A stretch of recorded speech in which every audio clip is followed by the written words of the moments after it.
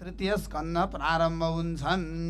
अब सुरुमै मैत्रीय ऋषिको र विदुरजीका परम पावन प्रसङ्गहरू आएका छन्। विदुरजी दुर्योधनको विदुरजीले भगवानको दर्शन प्राप्त गर्नुभयो। बारम्बार भगवान् श्रीकृष्ण दुर्योधनले ठुलो सत्कारको तयारी गरेका थिए। तर भगवान् त्यहाँ जानु भएन। भगवान् कहाँ जानुभयो भन्दा विदुरजीकोमा जानुभयो। भगवान् विदुरजीकोमा जानुभयो। विदुरजीको नबोलाउ नबोलाइकन पनि। विदुरले भगवान्लाई बोलाउनु भएको थिएन। भगवान् त्यहाँ जानुभयो। दुर्योधनले धेरै गरेका थिए तर भगवान् त्यहाँ जानु भएन। जहाँ प्रेम छैन जहाँ श्रद्धा छैन जहाँ विश्वास छैन प्रीति छैन त्यो ठाउँमा भगवान् जाँदैनन्। अब भगवान्ले नबोलाउ भगवान्लाई नबोलाउँदाखेरि पनि विदुरजीको घरमा भगवान् जानुभएको थियो। भगवान्ले भक्त वत्सलता विदुरजीमाथि देखाउनु भएको थियो। अब राजाले प्रश्न सोध्नुभयो मैत्रीय ऋषिका साथ विदुरजीको भेट कहाँ भएको थियो? यो संवाद कहिले भएका थिए? यसलाई वर्णन गर्नुहोस् म सुन्न चाहन्छु भनेपछि यसमा पक्कै पनि सानो प्रयोजन लुकेको छैन यसमा ठुलो अर्थ लुकेका छन्। किनभने यति उत्तम कोटिका महापुरुषहरू महात्माहरू भेट्दाखेरि सामान्य विषयमा छलफल चर्चा चल्दैनन्। ठुला विषयमा चर्चा चले होला त्यसैले ठुला विद्वानहरूले साधुहरूले पनि यसलाई उपब्रह्मण गर्नुभएको थियो। यसलाई धेरै सत्कार र अभिनन्दन गर्नुभएको थियो उहाँहरूको प्रश्नलाई पनि। त्यस कारणले अब हजुरले बताउनुहोस् विदुरजी र मैत्री ऋषिको भेट कहाँ कसरी कहिले भयो? भनेर यसरी बताएपछि जब धृतराष्ट्रले आफ्ना खराब पुत्रहरूलाई खराब कर्म गर्नबाट रोकेनन्। सबैभन्दा खराब बा खराब आमा भनेका तिनै हुन् जसले आफ्ना छोराछोरीलाई सही बाटो देखाउँदैनन् र गलत गर्दा गर्दै पनि गलत भन्दैनन्। यो ठिक होइन यो उचित होइन यो तिमी हिँडेको बाटो लक्ष्य ठिक भएन भनेर बा आमाले भन्ने साहस र आँट गर्नुपर्छ। भोलि पाल्दैनन् कि हेर्दैनन् कि डराउनै पो भगवान्ले पाल्छन् नपालेदेखि। भगवान्ले चाहेपछि विश्वभरले चाहेपछि तर बाटो सही बाटो देखाउनु अब बा आमाले भित्र देखाएको छैन भने पो के देखाउने भन्ने कुरा। बा आमाले देखाएको छैन अहिले त बा आमाको पनि कन्त बिजोग छ। गोविन्द भगवानको। त्यस कारणले अब महाभारतको लडाइँको मुख्य कारण के त भन्दा धृतराष्ट्रले दुर्योधनलाई कुकर्म गर गरेको देख्दा देख्दै पनि नरोक्नु। वंशै नाश भयो सबै। सबै सखाप भयो। सबै सखाप गराउने त आफूले देख्दा देख्दै जान्दा जान्दै थाहा पाउँदा पाउँदै त्यस कारणले रोक्नुपर्छ गलत कर्ममा लाग्दाखेरि। अब यसरी उनले अधर्मेण भनेको अधर्मपूर्वक विनष्ट दृष्टि। अधर्मको कारणले नष्ट भएको छ दृष्टि। धेरै अधर्मको आचरण गर्यो भने दृष्टि विवेक नष्ट हुन्छ। त्यो मान्छेलाई कसैले उठाउनै सक्दैन। कसैले उद्धार गर्नै सक्दैन। अब अन्धकार रुपी कुवामा खसेको मान्छेलाई कसले निकाल्ने? पानी नभएको कुवामा घाँसले माथिबाट ढाकिएको कुवामा खसेर मान्छेलाई निकाल्न को जाने? सो पानी निकाल्ने कुवा भइदिया भए पनि कमसेकम कोही दयालु मान्छेले डोरी पक्रेर आइज भनेर दिन कोही मान्छे जाँदैन। त्यो बुद्धि ज्यादै भ्रष्ट भइसकेपछि अधर्मले ज्यादै सबै थोक तहस नहस नष्ट भइसकेपछि त्यो ठाउँमा कोही रक्षा गर्न आउँदैन। कोही बचाउन आउँदैन। त्यस्तो अवस्थामा हाम्रो जिन्दगी नजाओस्। त्यहाँ हामी नपुगौँ। कमसेकम कोही न कोही दयालु साधु सन्त महापुरुष कोही न कोही आउन् कृपा गर्न दया गर्न। संसार सारण डुब्ने भनेको कुरा त्यस्तै हो। यो अन्धकारमय कुवा हो। यहाँ फसेको मान्छेले म फसेको छु भन्ने कुरै थाहा पाउँदैन। बडो अचम्मको अनौठो छ यो। यहाँ म फस्या छु भन्ने कुरै चाल पाउँदैन। फस्या मान्छेले त उत्रिने अभ्यास गर्छ नि। म फस्या छु भनेरै थाहा पाइँदैन। यस्तो अनौठो हालको फसाइ छ यो संसारको। नजा नजा जङ्गलमा नजा नजा म भित्र छु बाहिर छैन केही मजा। भनेर घन्क्यो फिर बाँसुरी घन? तँलाई मालुम छ कि यो कुरा मन? नजा नजा दुस्तर भाषामा नजा। म भित्र छु बाहिर छैन केही मजा। भनेर घन्क्यो फिर बाँसुरी घन? तँलाई मालुम छ कि यो कुरा मन। दुस्तर भाषमा नजा जङ्गलमा नजा। बिच्छीले टोक्छ। त्यहाँ अनेकौँ विपत्तिहरू छन्। भगवान्को भजन सुरु गर। कमसेकम बेला बेलामा सत्सङ्ग बनोस् क्या जीवनमा। यत्रो जीवनमा दुई चारचोटि भागवत सुन्न पाइयोस् दुई चारचोटि रामायण सुन्न पाइयोस् त्यस्तो पो जीवन। रामायण नसुनी भागवत नसुनी सत्सङ्ग नगरी सज्जनसँग सङ्गति नगरी यसै मरेर गइयो भनेदेखि त अब यत्रो संसार हाले भोग गरेर के अर्थ? अब आउने जुनी गोद गधा भएर जन्म लिएर आइयो भने के गर्ने? त्यहाँ पनि सोच्नुपर्छ मान्छेले। मृत्यु पछाडि केही पनि छैन होला आरे घरमा जलाएपछि सकियो होला भन्ने मात्रै ठान छ सबै छ। कि जस्ता तस्तै हामीले नदेख्दैमा नहुने हो र। एक करोड मान्छे एकातिर राख्नु। आँखा नदेख्ने अन्धाहरू क्या? आँखा नदेख्ने अन्धाहरू एका एकातिर राख्नु। एउटा मात्रै आँखा देख्ने त्यो पनि राम्रो छ नदेख्ने मान्छेले एकातिर राख्नु। एउटा मात्रै देख्ने त्यो पनि राम्रो नदेख्ने एकातिर राख्नु। एक करोड मान्छेलाई अब शङ्ख अगाडि राख्ने क्या? शङ्ख अगाडि राख्ने। ए यो कालो हुन्छ कि सेतो हुन्छ? शङ्ख ल भन्नुहोस् त भन्नु भने आँखा नदेख्ने मान्छेले दुनियाँ सबै कालो देख्छ। शङ्ख कालो हुन्छ अब त्यसले। एक करोड मान्छेले आँखा नदेख्ने मान्छेले शङ्ख कालो हुन्छ भन्छ। अब अलिकति आँखा देख्ने मान्छेले के भन्छ भन्दा शङ्ख कस्तो हुन्छ भनेर सोद्धाखेरि शङ्ख सेतो भन्छ त्यसले। त्यसले त देखिरहेको छ नि त अलिअलि त। अब हामी कस्ता भयौँ भने यत्र एक एक करोड मान्छे खोइ कसले राम भइरहेको छ? जर्मनमा कसैले राम भर्दैन अमेरिकामा कसैले राम भर्दैन। अब यो चिनमा कसैले राम भर्दैन यहाँ नेपालमा मात्रै। यो क यो सबै एक करोडको हुलमा हालिदिनु तिनीहरूलाई। त्यो आँखा नदेख्ने सबै। अलि अलि आँखा देख्ने मान्छे एउटा दुइटा हुन्छन्। त्यो मान्छेले भनेको कुरा पो पत्याउने त। आँखा देख्ने मान्छेले अलिकति देख्यो भने उसले सही देखिरहेको छ पुरा त उसले पनि देखिरहेको छैन। तर जे देखिरहेको छ उसले यथार्थ देखि त्यसको कुरा पो पत्याउने त। एक करोड कोही माया सबैलाई हेरो। चाहिँ आफ्नै तुनुमुनु आफ्नै घिसिर पिसिरमा सबै मस्त छन्। कोही कोही लाया अब डुबे सबै डुब्ने। अब यो कलियुग भनेको त्यही हो। ब्रह्माजीका हेर्नु चार भाइ छोरा। रहेछन् रे चार भाइ छोरामा एउटा जेठो सत्ययुग माइलो त्रेतायुग साइलो दपरयुग कान्छो चाहिँ कलियुग अनि त्यसपछि ब्रह्माजीले एकचोटि के भनेछन् चारै भाइलाई मध्येमा पहिला जेठोलाई मनाएपछि अरू त मानिहाल्छन् नि भने ठानेछन् जेठोलाई बोला। ल हेर बाबु मैले नरक पनि बनाएको छु धेरै ठुलो सङ्ग चाहिँ योजनमा फैलिएको छ विशाल छ। त्यत्रो दुःख गरेर बनाएको छु बनाएको छु हेर त्यो कुम्मी पाक बनाउन मलाई धेरै गाह्रो भयो रौरव बनाउन मलाई धेरै गाह्रो भयो धेरै दुःख गर्नु पऱ्यो मैले। त्यत्रो नरक पनि बनाएको छु। यसो विचार गरेस् है त्यो नरक रित्तै होला नि कोही न कोही त त्यहाँ जानु पऱ्यो नि। भन जेठो छोरालाई भनेको जेठो छोरो ओहो पिताजी यो काम चाहिँ मबाट हुँदैन। यो नरक पठाउने काम चाहिँ मबाट हुँदैन। बरु नरक रित्तै भयो नि होस् तर म नरक चाहिँ कसैलाई पनि पठाउ सत्यले त्यसो भने।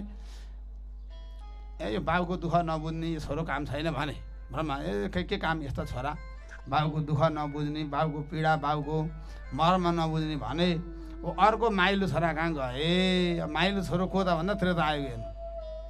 त्रेता आयोग कहाँ गए त्रेता बाबु मैले धेरै दुःख गरेर नरक पनि बनाएको छु। यसो ख्याल गरेस् है। जेठो दाई बटा तेरो जेठो दाजु बटारियो भने मानेन कुरो सुनेन मेरो भने। त्यसो भनेपछि अब उनले पनि पिताजी अब यो पनि मलाई यस्तो काम गर्न अलिकति रुचि लाग्दैन। म दाइ दाइकै बाटोमा हिँड्छु। पिताजी भन्नु त्रेतायुगले पनि। यसो त तँ पनि बटारेर केही फरक पर्दैन मलाई। भन्यो अर्को कहाँ आए?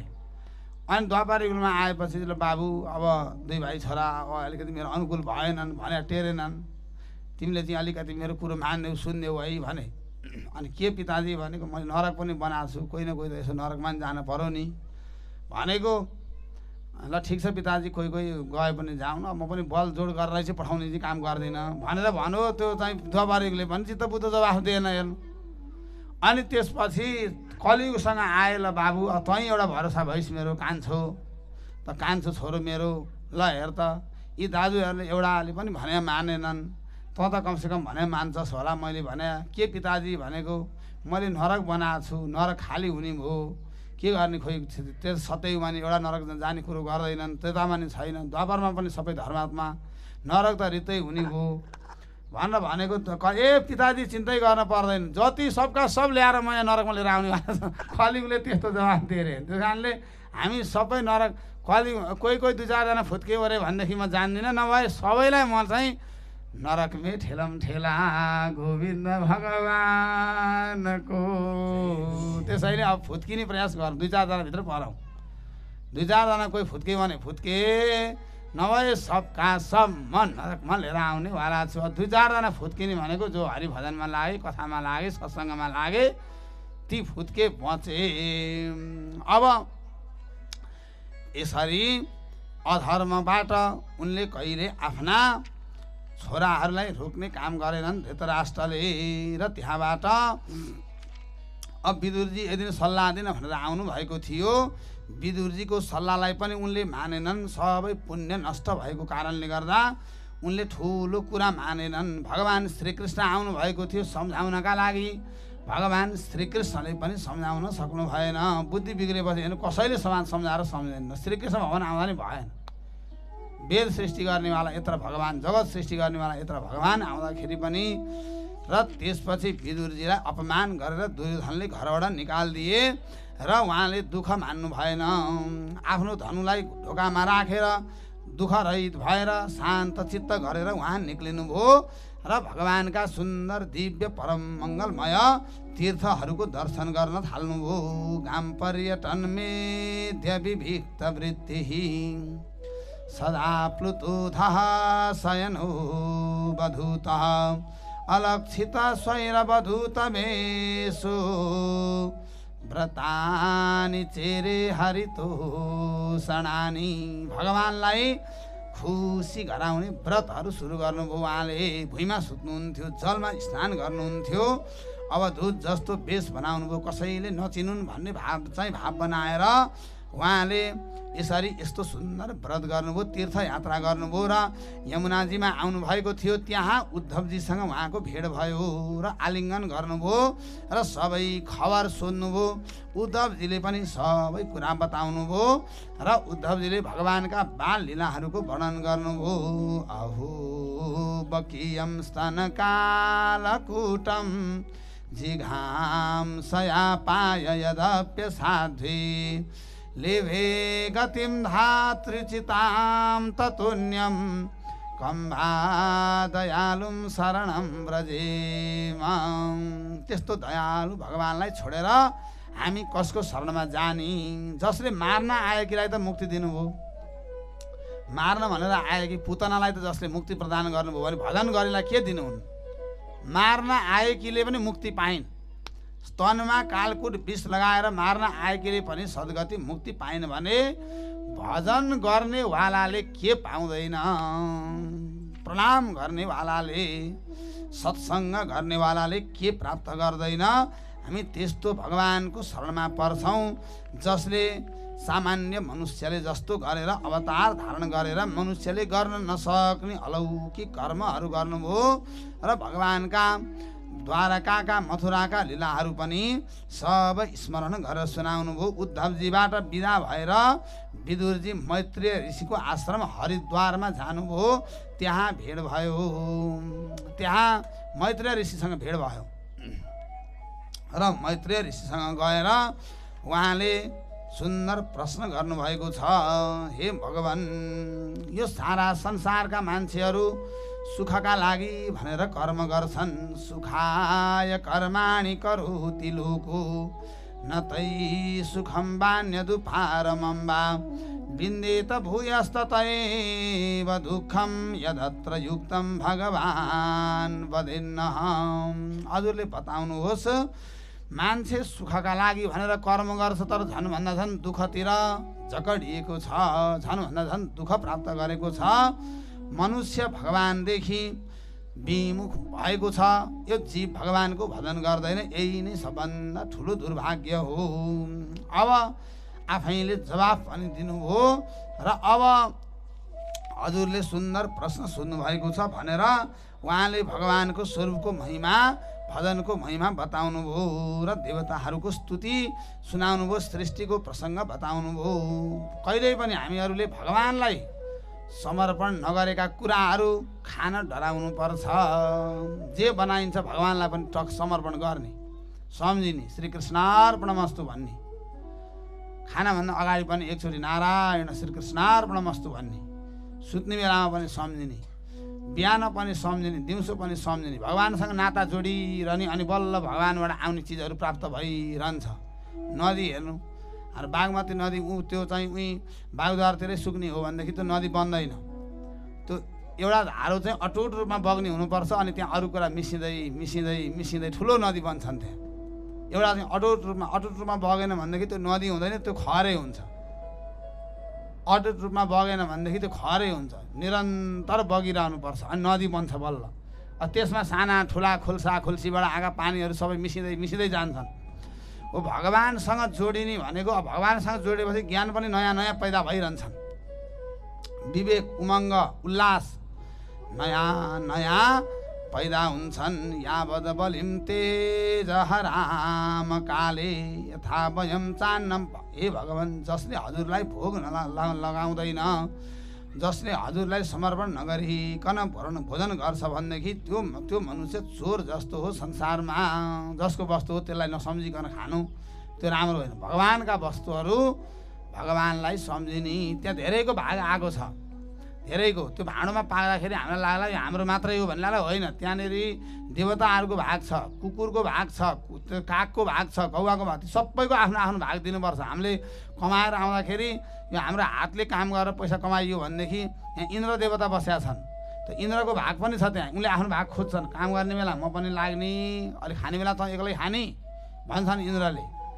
त्यस कारणले दशांश छुट्याउने भनेको कारण त्यही हो। भोजन बनाउनुभन्दा अगाडि नै एक मुठी कि छुट्याएर राख्ने एक मुठी निकालेर राख्ने सबैको भाग पर्छ त्यसमा। जसको भाग आफ्नो आफ्नो भाग दिएन भने भोलि उसले आफ्नो भाग हिसाब गर्न आउँछ। यत्रो तेरो आयु सत्तरी वर्ष बाँचिस असी वर्ष बाँचिस। असी वर्षमा मैले यति दिन काम गरेँ यति दिनको मेरो हिसाब किताब ले लु यहाँ चाहियो भनेर भोलि मर्ने बेलामा हिसाब माग्न आउँछन् चित्रगुप्त।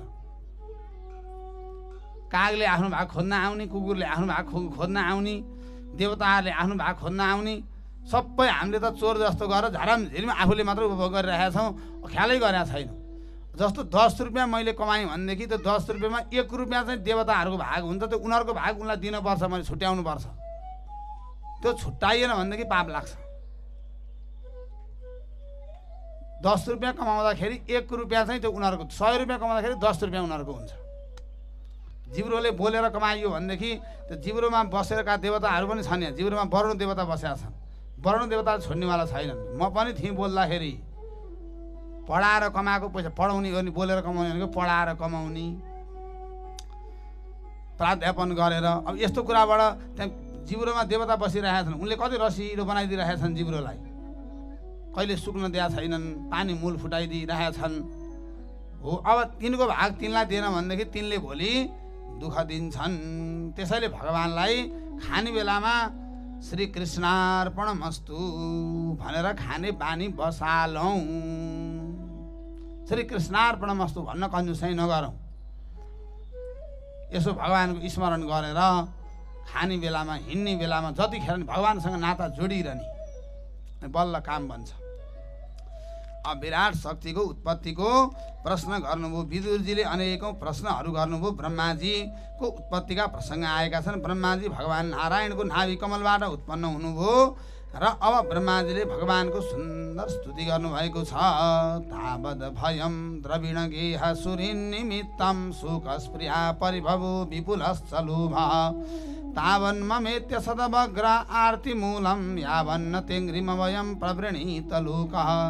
त्यतिखेरसम्म मनुष्यका लागि घर पनि दुःखदायक हुन्छ। घरले पनि सुख दिँदैन। आफ्ना सुरित बन्धु बान्धव साथीभाइहरूले पनि सुख दिँदैनन्। त्यतिखेरसम्म मनुष्य सबैको तिरस्कारको पात्र बन्नु बन्नुपर्छ। जबसम्म मनुष्यले भगवान्लाई स्वीकार गर्दैन भगवान्लाई स्वीकार गरेपछि सबै स्वर्ग घर पनि स्वर्ग छोरो पनि स्वर्ग धन पनि स्वर्ग सबै स्वर्गेश्वर भगवान्लाई को शरणमा नपरुन्जेल सबै कुराले कुरा दुःखको कारण बन्छन् सुखको कारण बन् दुःखको कारण बन्छन्। पैसाले पनि रुवाउँछ घरले पनि रुवाउँछ परिवारले पनि रुवाउँछन् आफन्त इष्टमित्रले पनि रुवाउँछन् सबैले रुवाउँछ। भगवान्को बन्नु फेरि सबैले आनन्द दिन्छन् भगवान्को बन्नी। अब हे भगवान् हजुरदेखि विमुख भयो भने कसैले पनि शान्ति लोभ काम क्रोधबाट मुक्ति प्राप्त गर्न सक्दैनन्।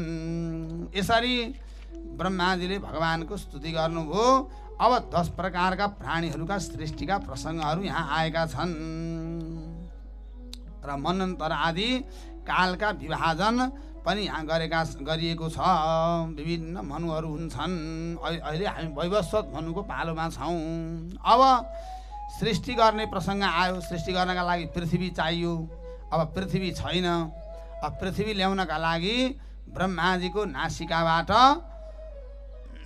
भगवान् वराह प्रकट हुनुभयो रसातलमा जानुभयो कि पृथ्वीलाई ल्याउनका लागि भगवान्ले वराहको अवतार धारण गर्नुभयो वराह भगवानको।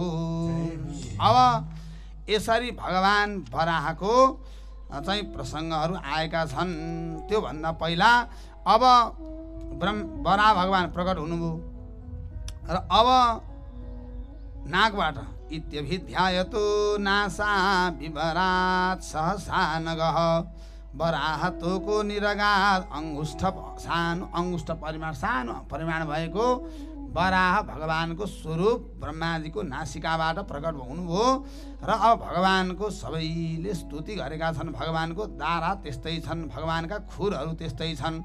भगवान्का सारा यी लोकमय स्वरूप छन्। खुरहरू त्यस्तै छन्। पृथ्वीमा भगवान् हिँड्दाखेरि पनि कम्पायमान गर्नेवाला यस्तो किसिमको भगवान्ले आफ्नो दाराले पृथ्वीलाई ल्याउने विचार गर्नुभयो। सबैले भगवान्को स्तुति गरे। जितम जितम ते जित यज्ञ भावन। त्रयिम तनुम स्वाम परिधुन्वते नमः। यद्रुम गर्ते सुनिलिल्युमध्वरा तस्मै नमः कारण सुकरायते सबैले भगवान्को प्रार्थना गर्नुभयो। हे भगवान् विशेष कारणले सुकरको अवतार धारण गर्नुभएका त्यस्तो यज्ञ स्वरूप हजुरलाई नमस्कार छ भनेर अब भगवान्ले पृथ्वीलाई लिएर आउने आउन लाग्नुभयो। अब पृथ्वीलाई ल्याएपछि सृष्टि चाहियो फेरि। पृथ्वी हुने सृष्टि नहुने पनि भएन सृष्टि पनि चाहियो। सृष्टिका लागि दिती महारानीले पहिलो प्रस्ताव गर्नुभयो। हे पतिदेव हे कश्यप ऋषि अब सृष्टि विस्तार गर्नुपर्छ हजुरले गर्भधारण गर्नु पर्यो भनेर यसरी प्रस्ताव राख्नुभयो। र अब त्यति भनेपछि हे देवी यो कुरा जायज छ ठिक छ तर हेर यो समय उपयुक्त छैन साँझको बेला छ। यो समयमा गर्भ रह्यो भने राम्रा सन्तान पैदा हुँदैनन्। अब तिमीले केही समय धैर्य गर। अवश्य तिम्रो सन्तान हुनेछन्। हेर यो घोर बेला छ। यसा घोर तमा बेला। घोराणाम घोर दर्शना। चरन्ती यस्याम भूतानी चराणी ह यो घोर बेला छ। यतिखेर हेर गर्व रह्यो भने भगवान् भोले बाबाका दूतहरू घुमिरहेका छन् हुन्छन् साँझको बेलामा। सबै चाहिँ रिपोर्ट लगेर बुझाउनु पर्छ उहाँ। यमराजले कसले के गर्दैछ कसले के गर्दैछ भनेर त्यस कारणले हेर यो साँझको बेला छ। यतिखेर यो भजन गर्ने समय हो सन्ध्याको बेला हो। यो बेला गर्भधारण गर्नु उचित हुँदैन। भगवान् भोले बाबाका दूतहरू विचरण गर्छन् साँझको समयमा। त्यो साँझको समय पढ्नु हुँदैन। साँझको समयमा खानु पनि हुँदैन। साँझको समयमा सुत्नु पनि हुँदैन। यति काम गर्नु हुँदैन। भगवान्को एकछिन भयो नि बच्चाहरूलाई राखेर वरिपरि राखेर दस पन्ध्र मिनट भयो नि पन्ध्र मिनट भयो नि यी बच्चाहरू साना साना बच्चाहरूलाई सबैले राखेर घरमा श्री श्रीराम जयराम सुनाउने बजाउने गर्नु। कति राम्रो यिनीहरूको चाहिँ त्यो सात्विक ऊर्जा शक्ति बढ्छ। भोलि चाहिँ पढाइको प्रेसरले त्यो दिमागै ह्याङ जस्तो भएको हुन्छ आजकलको बच्चाहरूको झन्। कमसेकम ती बच्चाहरूलाई बेलुका एकछिन सन्ध्याकालमा साँझको समयमा सबै घरमा राखेर भगवान्को भजन गराउने। नाम जप ल जप दस मिनट जति ओम नम शिवाय भन त ल म पनि सँगसँगै भन्छु भन्ने आमाले नि भन्न थाल्ने अनि ती भन्छन् ती केटाकेटीहरूले पनि। यसरी सिकाउने साँझको समयमा। अब कश्यप ऋषिले भन्नुभयो अब उहाँले मान्नु भएन हट छोड्नु भएन। त्यसपछि तेरो कोठ कोखबाट अधम असुरहरू उत्पन्न हुनेछन् भनेपछि अब तिनै हिरण्यकशिपु र हिरण्याक्षको रूपमा प्रकट हुन्छन् त्यही त्यही गर्भबाट। जय र विजय वैकुण्ठमा बस्नुहुन्थ्यो। एक दिनको कुरा हो सनकादि महर्षिहरू वैकुण्ठमा जानुभएको थियो। वैकुण्ठमा गएको बेलामा उहाँलाई बाटो रोक्नुभयो जय र विजयले र उहाँहरूले श्राप दिनुभयो तिमीहरू वैकुण्ठ लोकमा बस्न लायकका छैनौ यस्तो विषम बुद्धि। यस्तो असमान बुद्धि यो वैकुण्ठको बुद्धि होइन। भनेर उहाँहरूलाई ले श्राप दिनुभयो तिमीहरू असुर हुन लायकका छौ यस्तो भेदबुद्धि असुरमा हुन्छ। असुर बन भनेर श्राप दिनुभयो। त्यसपछि उहाँहरूलाई ले स्वीकार गर्नुभयो। लक्ष्मीजीले पनि त्यसलाई अनुमोदन गर्नुभयो र यसरी कुमारहरूले श्राप दिइसकेपछि भगवान्ले ब्राह्मणहरूको महत्त्व बताउनु भएको छ। हे जय र विजय मलाई खुसी बनाउनका लागि ब्राह्मणहरूले भोजन नगरिकन म खुसी हुँदिनँ। यज्ञ गरे पनि जे गरे पनि भगवान्लाई अन्तिममा खुसी गराउनका लागि ब्राह्मण भोजन गराउने चलन छ। अब हेर मैले मेरो खाने मुख भनेकै ब्राह्मणहरू हुन्। ब्राह्मण भोजनबाट म तृप्त हुन्छु। ब्राह्मणहरूको श्रापलाई मैले यताउति गर्न सक्दिनँ। स्वीकार गर भनेर उहाँहरूलाई स्वीकार गर्न लक्ष्मीजीले भगवान्ले पनि प्रेरित गर्नुभयो र उहाँहरू दुइटै असुर योनिमा हिरण्याक्ष र हिरण्यकश्यपु बनेर दितीको गर्भ गर्भबाट प्रवेश हुन्छन् मिनुभयो र उहाँहरू असाध्यै क्रुद्ध क्रोधी स्वभावको हुनुहुन्थ्यो। सबैलाई सताउन थाल थाले। हिरण्याक्षले सबैतिर दिग्विजय प्राप्त गरे। मै हो नारायण भनेको मै हो सबै थोक भनेको भनेर सबैलाई आफ्नो अधीनमा बसमा राख्न सुरु गरे। र अब यसरी हुँदै हुँदै गयो र त्यसपछि भगवान् बराहले पृथ्वीलाई ल्याइरहनु भएको थियो। त्यही बेलामा उनी पनि युद्ध गर्न भनेर गए। भगवान्सँग युद्ध गर्न गए। ती हिरण्याक्ष भगवान्को हिरण्याक्षसँग भयङ्कर युद्ध भयो। र त्यसपछि अब गधाले यस्तो किसिमको युद्ध भयो र अब देवताहरूले प्रार्थना गरे हे भगवान् हजुरले यिनलाई समाप्त गरिदिनुहोस् भनेपछि अब त्यो समाप्त गर्नका लागि भगवान्ले हिरण्याक्षको वध गर्ने विचार गर्नुभयो र भगवान्ले हिरण्याक्षको वध गरेर पृथ्वीलाई ल्याएर जलमाथि ल्याएर स्थापना गर्नुभयो। वराह भगवानको लक्ष्मीनारायण भगवानको। यसरी भगवान्ले पृथ्वीलाई ल्याएर जलमाथि राख्नुभयो। पृथ्वीलाई ल्याएर जलमाथि। अब हामीले एउटा ढुङ्गो त पानीमा राख्न अड्याउन सक्दैनौँ। भगवान्ले चाहेपछि त्यस्तो पनि जल त्यही भएर अलिकति खानु भने तल पानी नै पानी छ सबै। यहाँ तल के छ के छ? पृथ्वीको विषयमा कसैले "ए, प्लेट छ भूकम्प आउँदा प्लेट कहाँ प्लेट हुनु? अशेष भगवान्को चाहिँ शिरमाथि पृथ्वी बसिया छ। शेष भगवान्लाई चाहिँ यसो आयो आयो अल्छे आयो कहिलेकाहीँ भने यसो चाहिँ गर्दाखेरि पृथ्वीमा कम्पन हुने हो काँप्ने हो। अब पृथ्वीभित्र पानी नै पानी छ कहाँ प्लेट खोज्न जाने हामीले? अब अलिकति खोज खोज्ने बित्तिकै दुई सय फिट तल जाने बित्तिकै पानीदेखि बाहेक काहीँ केही भेटिँदै भेटिँदैन। अब विज्ञानले हाम्रो कुरो सुन्दैन। शेष भगवान् छन् भन्ने कुरो उसको भाव अब यो त भावको कुरा भयो अब अध्यात्मको कुरा भयो श्रद्धाको कुरा भयो। अब साइन्सले त ठोस कुरालाई मात्रै प्रमाण मान्छ। ठोस कुरा। अध्यात्मलाई साइन्सले केही विचार केही गर्नै सक्दैन अध्यात्मको विषयमा। साइन्स फेल हुन्छ। त्यस कारणले विज्ञान बिना चाहिँ धर्म अन्धो धर्म बिना विज्ञान लङ्गडो। एक अर्का यी नमिलिकन हुँदै हुँदैन। अब विज्ञानलाई निषेध गरौँ भने पनि भएन यो सब विज्ञान अब यत्रो साउन्ड सिस्टम बजाइरहेका छौँ। यहाँ बजाएको बनाएको भिडियो अब अमेरिकामा हेरिरहेका छन्। सारा देश विश्वभरि हेरिरहे अब यो विज्ञान यसलाई पनि नस्वीकारिकन पनि चल्दैन। फेरि अध्यात्म धर्म केही होइन भनेर पनि उनले पनि शान्ति पाउँदैनन्। केही होइन भनेर निषेध गरेर त्यहाँ हुँदैन सर्वस्व हो वास्तविक विज्ञान भनेकै अध्यात्म हो। अब भगवान्ले पृथ्वीमाथि ल्याएर पृथ्वीलाई जलमाथि ल्याएर राख्नुभयो र ब्रह्माजीले अनेकौँ प्रकारका सृष्टिहरू गर्नुभएका प्रसङ्गहरू आएका छन्। कर्दम प्रजापतिले तपस्या गर्नुभयो र स्वयम्भुव मनु। उहाँका उहाँ स्वयम्भू मनुको जो पुत्री हुनुहुन्थ्यो देवहुति। देवहुतिको विवाह कर्दम प्रजापतिका साथ गर्ने विचार गरिदिनु भयो भगवान्ले तपस्या दिनुभयो भगवान् नारायणले। हजुरले जे इच्छा गर्नुभएको छ त्यो प्राप्त हुनेछ। कर्दम प्रजापति हजुरलाई पुत्री दिन यहीँ आउनुहुनेछ। भनेपछि स्वयम्भू मनु आउनुहुनेछ। भनेपछि स्वयम्भू मनुले आफ्नो कन्या देवहुतिलाई दिने विचार गर्नुभयो र कर्दम प्रजापति र देवहुतिको धुमधामसँग विवाह सम्पन्न भए। मङ्गलम भगवान् विष्णु मङ्गलम गरुडध्वज मङ्गलम पुण्डरीकाक्ष मङ्गलाय तनु हरि। अब देवहुति र कर्दम प्रजापतिको विवाह भयो उहाँले दिव्य भोग भोग्नुभयो। यस्तो विमान बनाउनु भयो यस्तो घर थियो उहाँको दरबार यस्तो थियो सेना मेना यस्ता थिए एउटा विमान उहाँको मन जस्तै तीव्र वेगशाली मनले मन जति तीव्र फास्ट दौडिन्छ त्यस्तै वेगशाली विमान बनाउनु वसन्त ऋतु पनि त्यहीँभित्र छ शिशिर ऋतु पनि एउटै विमानभित्र सबै ऋतु।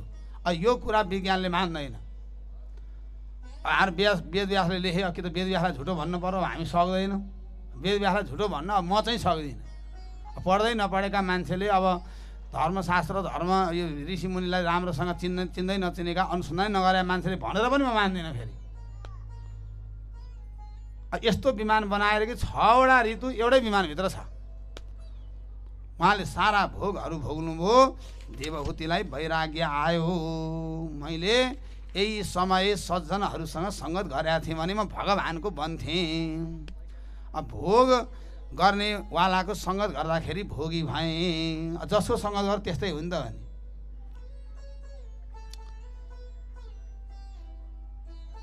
अब सज्जनको सङ्गतमा लाग्ने कथा कीर्तनमा लाग्ने हो भनेदेखि सबै ज्ञानी हुन्छ अब भोगी मान्छेहरूको सङ्गतमा लाग्यो भने भोगी नै भइन्छ। त्यस कारणले सज्जनहरूको सङ्गत गर्ने। अब यसरी वैराग्य आयो देवहुतिलाई। मैले सारा बन्धनबाट मुक्त प्राप्त गर्ने अवसर गुमाएँ। अब मलाई उहाँका नौवटी छोरीहरू भए। देवहुतीका नौवटी यस्ता यस्ता सुन्दरी पुत छोरीहरू भए सबै ऋषिहरूका साथ उहाँका विवाहहरू भए। एक्लो हुनुभयो अन्तिममा त फेरि। अनि फेरि भन्नुभयो हे पतिदेव पतिले के भन्नुभएको थियो भने सन्तान भएपछि चाहिँ म घरमा बस्दिनँ। कहाँ जाने त भन्दा म त वृन्दावन बस्छु भजन गर्छु जङ्गलमा बस्छु भजन गर्छु कीर्तन गर्छु तपस्या गर्छु। सन्तान भएपछि म घरमा बस्दिनँ भन्नुभएको थियो। नौ नौ नौवटी छोरीहरू भए। सबै बिगारेर गए। म त बुढेसकालमा एक्लो हुने भएँ भनेपछि अब भगवान् कपिलदेवले साक्षात् पुत्रको रूपमा अवतरित हुने विचार गर्नुभयो। भगवान् कपिलदेव आउनुभयो पुत्र बनेर कपिलदेव भगवानको। अब भगवान् कपिलदेव आउनुभयो भगवान्ले मिठो उपदेश गर्नुभयो आमालाई उहाँले शरणमा पर्नुभयो कपिल भगवानको शरणमा पर्नुभयो देवहुतीमा माता। र त्यसपछि भगवान्ले मुसुक्क मुस्कुराउनु जब जीव भगवान्को शरणमा पर्छ भगवान् बल्ल मुस्कुराउनुहुन्छ। अब उपदेश गर्नुभयो अब हामी कसरी संसारबाट पार हुने भन्दा भगवान्ले भन्नुभयो हे माताजी पहिला रोग पत्ता लगाउनुपर्छ अनि औषधि खानुपर्छ। रोग के त भन्दा म र मेरो शरीरलाई लिएर म शरीरसँग सम्बन्ध राख्ने वस्तुलाई मेरो भन्ने यो दुईवटा कुराबाट भावबाट सारा रोगहरू जन्मिएका हुन् यो दुईवटा भावबाट। शरीरलाई म ठान्ने शरीरसँग सँग सम्बन्ध राख्नेलाई मेरो ठान्ने यो कुराबाट सारा समस्या जन्मिएका हुन् भन्नु। अब जब म यो दुइटै रोगबाट मन मुक्त हुन्छ काम लोभबाट मन मुक्त हुन्छ त्यसपछि सुख दुःख रहित अखण्ड आत्मज्योतिमा मन युक्त हुन्छ। त्यसका लागि सत्सङ्ग गर्नुपर्छ। सत्सङ्ग कसो गर्ने? तितिक्षवः सा कारुणिका सुहृदः सर्वदेहिनां शैव साधु सुकृतो मोक्षद्वारमपावृतम। खुलेको मोक्षको ढोका साधुहरूको सङ्गत। साधु सज्जनहरूको महापुरुष वैरागीहरूको सङ्गत गर्ने वैरागीहरूको। त्यहाँबाट सारा आसक्तिहरू टुट्छन्। सारा मोहहरू भङ्ग हुन्छन् साधुहरू तितिक्षु हुन्छन् करुणाले युक्त हुन्छन् सबैको सुहृद हुन्छन् शान्त हुन्छन्। यही नै साधुहरूको गहना हो भनेर किनभने साधु सज्जनहरूको समाजमा अत्यन्तै मिठा मेरा चर्चा हुन्छन्। सज्जनहरूको समाजमा मेरो चर्चा हुन्छन्। त्यो सेवन गर्नाले मनुष्यमा श्रद्धा रति र भक्ति क्रमशः बढ्दै जान्छ भनेर यसरी उपदेश गर्नुभयो सत्सङ्गको सल्लाह दिनुभयो। त्यसपछि भगवान्ले अब यी पच्चिसवटा तत्त्वको विषयमा पनि उपदेश गर्नुभयो। पाँच ज्ञानेन्द्रिय कर्मेन्द्रिय पञ्चमहाभूत पञ्चतन मात्रा मन बुद्धि चित्त अहङ्कार ईश्वर पुरुष प्रकृति यो सबै विषयमा एक एक गरेर साङ्ख्यको तत्त्वको उपदेश गर्नुभयो। भगवान् कपिलदेवले साङ्ख्यको अब त्यसपछि प्रकृतिबाट पुरुषको सम्बन्ध जब टुट्छ त्यसपछि मुक्ति प्राप्त गर्छ र त्यसका लागि भगवान्को ध्यान गर्नुपर्छ। सञ्चिन्तैद भगवत चरणारविन्दम भजराङ्कुश ध्वज सरु रुहलाञ्छनाढ्यम उत्तुङ्ग रक्त विलसन्नख चक्रवाल झुस्नाभिराहत महधृदयान्धकारम सारा अन्धकारलाई नष्ट गर्ने भगवान्को श्री चरणको ध्यान गर्नुपर्छ। र भक्ति योग धेरै प्रकारको मन मान्छे अनुसारको भक्ति हुन्छ। त्यसमा पनि जो केवल मूर्तिमा मात्रै भगवान् देख्छन् मान्छेमा भगवान् देख्दैनन् जीव जनावरमा भगवान् देख्दैनन् भने ती तल्लो कोटिका भक्त हुन्। मूर्तिमा मात्रै भगवान्लाई देख्ने मान्छेमा नदेख्ने मूर्तिमा मात्र देख्दाखेरि त अरूले हामीलाई गाली गर्दैन। चा चाइनिजहरूले के भन्छन् हेर नेपालीहरूको संस्कृति। मान्छेमा ईश्वर नदेख्ने ढुङ्गामा ईश्वर देख्ने भन्दैनन् अरू नास्तिकहरूले। सबैमा ईश्वर देख्ने। मूर्तिमा पनि भगवान्लाई देख्ने। सबै जीव जगत कमिलोमा पनि भगवान्लाई सबैलाई भगमा भगवान् देख्यो भने पो बल्ल मान्छेले आहा यो पो संस्कृति। वृक्षमा पनि पूजा गरेका छन् ढुङ्गालाई पनि पूजा गरेका छन् मान्छेलाई पनि दया गरेका छन् करुणा गरेका छन्। सबैको उत्थान गर्ने कुरा गरेका छन् गरिबलाई दान दिएका छन् नहुनेलाई हुने बनाएका छन् सेवा गरेका छन् भन्ने भयो भने बल्ल विश्वका मान्छे अनि सनातन धर्मको अवलम्बन गर्न सुरु गर्छ। हाम्रो कति आदर्शका कुरा छन्। हाम्रो पारिवारिक सृष्टि सिस्टमहरू कति राम्रो छ। अब त हामी पनि विदेशी विदेशी जस्तो हुन थालिसकेका छौँ। नभए हाम्रो अब जापानतिर गयो भने सत्र वर्ष कट्ने बित्तिकै घना छोरोले बसेर खाना पाउँदैन। काम गर्न उसले जानै पर्छ। त्यहाँ अब तर्पण गर्ने भन्ने कुरो छैन। भोलि पिण्ड देला जलाउला अब दाह संस्कार गर्ला तेह्र दिन एकाश क्रिया गर्ला भन्ने कुरो पनि छैन। अब हाम्रो त ती सारा कुराहरू छन्। के यही हो भोलि हेर्ने तर्पण दिने पिण्ड दिने भन्ने आशाले पनि हामी त माया गर्छौँ। त्यहाँ त अब पैसासँगको मात्रै सम्बन्ध हो। पैसा नभए सल्लो जा अब चले जाओ भन्ने हो पठाइदिए कृष्ण कन्हैया लालको अमेरिका। के अरे जापानतिर विकसित राष्ट्रहरूको हेर्नु। हाम्रो संयुक्त परिवारको कति राम्रो। यो कुरा आदर्श छ। बाबु आमालाई यति धेरै आदर गर्ने संस्कृति दुनियाँमा कुनै पनि छैन। बाबु आमालाई। बाबुआमाको नाममा चौतारो बनाउने। बाबुआमाको नाममा मन्दिर बनाउने। बाबुआमाको नाममा दान गरिदिने। बाबुआमाको नाममा भागवत लगाइदिने। यो विश्वमा दुनियाँमा कसैले गर्छ यस्तो काम? बाबुआमालाई मान्नु जन्म दिने बाबुआमालाई भगवान् मान। पहिला पहिला रामका कुरा छोडिदेऊ कृष्णका कुरा छोडिदेऊ बाबुआमा मान। यो दुनियाँमा कसले सिकाउँछ यस्तो कुरो? यो आदर्श हो हाम्रो। एउटा कुरा यो। अर्को कुरा सामाजिक सहकार्यको भावना। मिल्ने क्या? हरेक ठाउँमा मिल्ने। विवाह आयो भनेपछि गाउँभरिका मान्छे जुट्ने कसैले डेक्ची दिने कसैले थाल दिने कसैले के दिने मिलिजुली ल भागवत लाउने रे भनेपछि कसैले बाँस दिने कसैले चाहिँ के गर्ने सघाउने कोही खाल्डो खनिदिने कसैले बन्न बनाइदिने यो यो सहकार्यको भावना। एकै ठाउँमा जुट्ने भावना। एकले अर्कालाई पार लगाउने भावना। यस्तो सद्भावको भावना सहकार्य कहाँ पाइन्छ यो दुनियाँमा? सबै आफ्नो आफ्नो स्वार्थमा मात्रै पैसामा मात्रै टिका छ सारा चिज। हाम्रो पुरै त्यो पश्चिमापन हाम्रो पनि छिरिसकेको छ।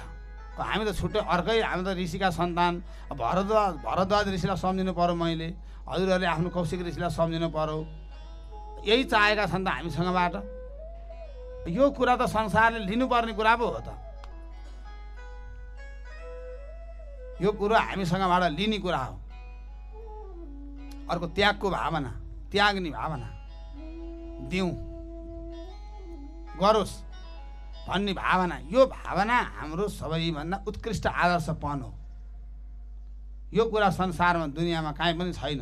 त्यस कारणले यो कुरालाई ख्याल गर्नुपर्छ। अब यसरी भगवान्ले भक्ति योगको वर्णन गर्नु भगवान्लाई सबैतिर देख्नुपर्छ। भन्नुको मतलब सबैभित्र ढुङ्गोमा चाहिँ पूजा गर्ने बाहिर मान्छेलाई अपमान गरौँ हेला गरौँ भनेदेखि त त्यो कसरी भगवान्को पूजा भयो? साक्षात् भगवान् बसिरहेका छन् हरेकको शरीरभित्र। सबैलाई सम्मान गर्ने सबैभित्र भगवान् देख्ने यो संस्कृति हाम्रो। सबैभित्र भगवान् देख्ने सबैभित्र प्राणीभित्र भुसुनाभित्र नि देख्ने ब्रह्माभित्र नि देख्ने सारा चराचर जगतभरि भगवान् देख्ने अब खराब काम गर्नेवाला मनुष्यको वर्णन गरि गरिएको छ गतिको वर्णन पुण्य कर्म गर्नेवालाको गतिको वर्णन गरिएको छ। र अन्तिममा देवहुतीले हजुरले भनेका सबै कुरा बुझ्न मलाई साह्रै गाह्रो भयो। हे प्रभु मैले यति कुरा बुझेँ के भन्दा अहु बत स्वपचुतु गरियान यज्जिह्वाग्रे वर्तते नाम तुभ्यम ते पुस्तपस्ते जुहुबु सस्नुरार्या। ब्रह्मानुचुर नाम गृह्णन्ति एते। हे भगवान् म त यति कुरा हे नारायण हे नारायण हे गोविन्द हे गोपाल यति म रटिरहँ। यही नाम जपिरहँ यति कुरा मैले बुझेँ यी सबैबाट सार कुरा यति बुझेँ। भन्नुभयो। अब यो प्रसङ्ग जसले सुन्नुहुन्छ जसले सुनाउनुहुन्छ उहाँहरूले भगवान्को श्रीचरणमा दिव्य गति रति भक्ति प्राप्त गर्नुहुन्छ भन्ने फलश्रुतिका साथ तृतीय स्कन्द यहीँ संक्षिप्त रूपमा पूर्ण भएका छन्। अब चतुर्थ स्कन्द चाहिँ हामी भोलि ठिक पाउने दस बजेबाट श्रवण गर्नेछौँ। अब अलिकति हाम्रो थोरै पाठ तिन चार अध्याय यो चतुर्थ स्कन्द सक्नुपर्ने भावनाले पन्ध्र मिनट जति हामी पाठ गर्छौँ त्यसपछि आरती पुष्पाञ्जलीका लागि तयार गर्दै गर्नु होला भक्तवत्सल भगवानको श्रीकृष्ण